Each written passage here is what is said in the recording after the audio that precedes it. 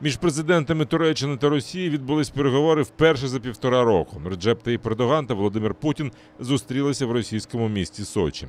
Для цього російський президент вийшов з двотижневої самоізоляції. На публічній частині зустрічі Ердоган і Путін обговорили спільну торгівлю, туризм, ситуацію в Сірії та на Кавказі і боротьбу з пандемією. Переговори відбулися на тлі заяв Ердогана про те, що Туреччина ніколи не визнає Крим російським. Але як уточнив прес-секретар Путіна Дмитро Пісков, тему Криму президенти не підніматимуть.